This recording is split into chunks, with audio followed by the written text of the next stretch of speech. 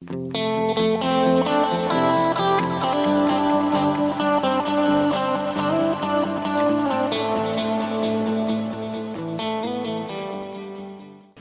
τώρα θα δούμε το ρολόι της GES με κωδικό W27509G1. Εδώ βλέπουμε το κουτί.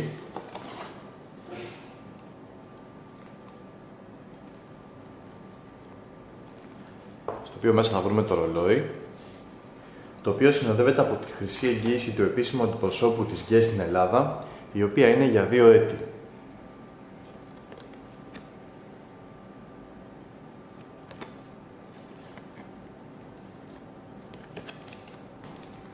Το ρολόι είναι από ανοξίδωτο ατσάλι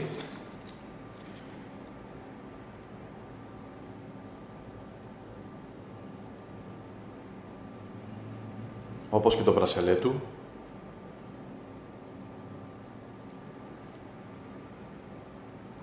Το κούμπομά του είναι ασφαλείας, πιέζοντας τα δύο μπουτόν απασφαλίζεται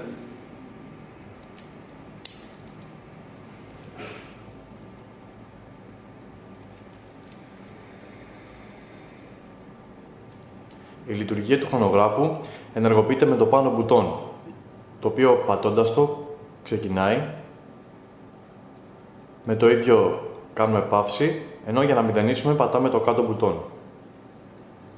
Για να ρυθμίσουμε την ημερομηνία, δεν έχουμε παρά να τραβήξουμε την κορώνα στην πρώτη σκάλα και στη δεύτερη για να ρυθμίσουμε την ώρα. Επισκεφτείτε τη σελίδα μας στο www.ipavlaoro.gr για να δείτε το ρολόι, την υπόλοιπη συλλογή της GES όπως και πολλά άλλα brands.